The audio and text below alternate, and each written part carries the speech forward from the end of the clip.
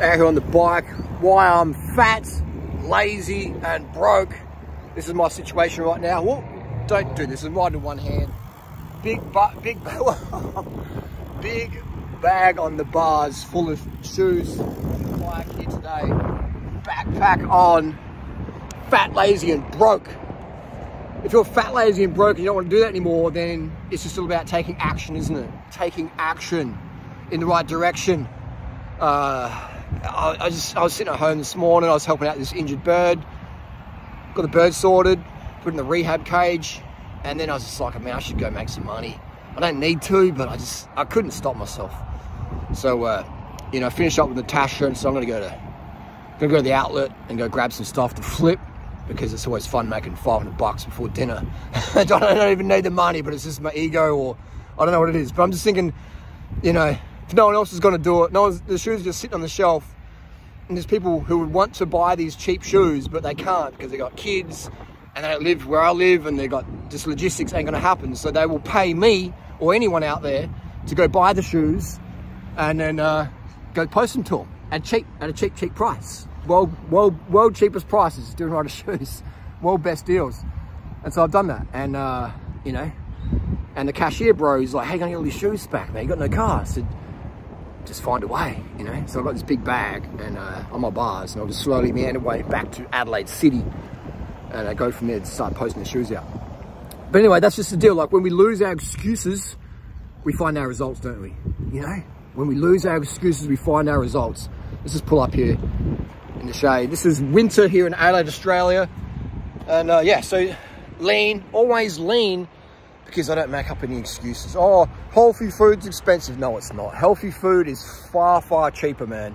It's, you see what I eat? Boom. You know, the best food on the planet. If you want performances in the bedroom and the boardroom, on the internet, on the bike, in real life, on the court, in court, then my nutrition protocols are unmatched.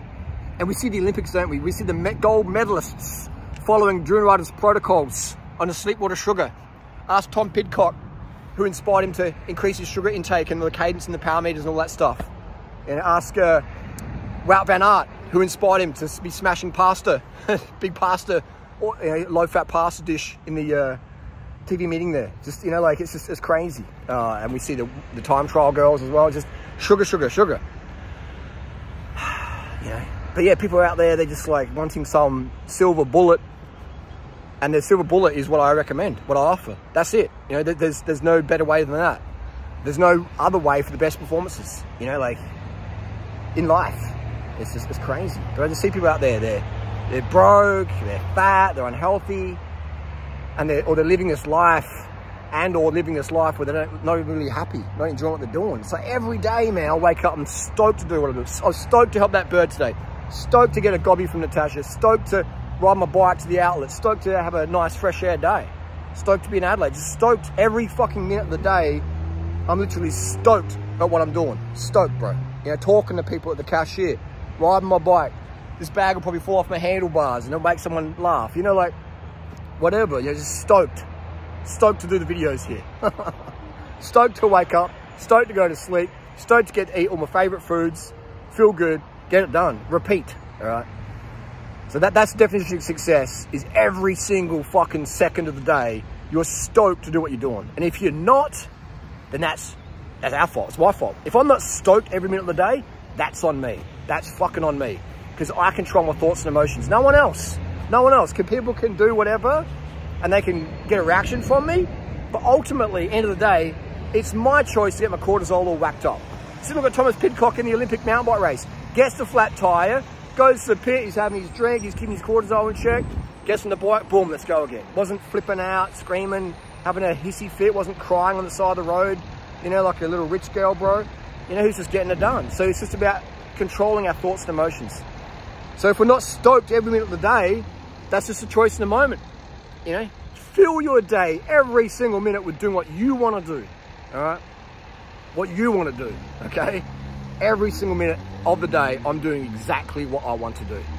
All right. And that's why that's the only way for me to live life. I can't live any other way than every single fucking minute doing exactly what I want to do.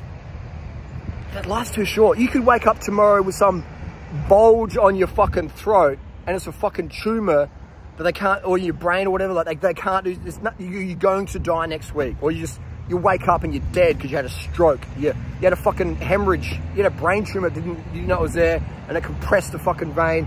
Pop! You, you don't even wake up. Boom. That day of yesterday of faffery and fuckery, that was the last day on the planet, and you didn't even get to enjoy it. Because why? Why? You know what I mean? You got to live every fucking minute like it could be your last. Facts, man. It's just facts. So, so often we get caught up in fuckery and faffery about someone did this to me, blah, blah, blah, blah, blah. Someone said I'm ugly on the internet or whatever, blah, blah, blah. can you know, like, five seconds you can get pissed off. But, but yeah, but that's five seconds you waste, man. So the older I get, the more I realize, damn, I made it to 47 in a few weeks. I'm fucking lucky, man. Some people don't make it to two. Some people die in the first few weeks of life. Fuck, man, like, so yeah, just, just more and more that grandiose gratitude mentality.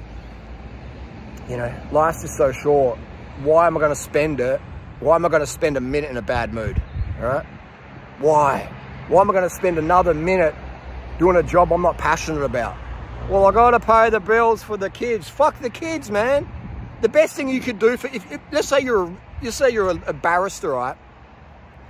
And you put your kids through private school.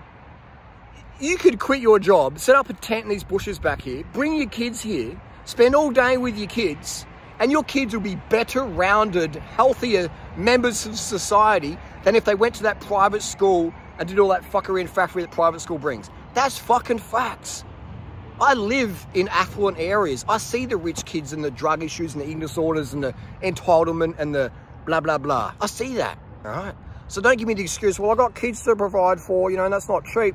It ain't cheap, but that's your choice, man. There's plenty of people around the world who raise their kids on rice, sugar, water, and bananas, and they sleep in a little hut made out of sticks and fucking plastic bags, and the kids, man, are fucking awesome. And there's plenty of people out there who are making billions of dollars a year and their kids are just fucking faffery and fuckery, you know?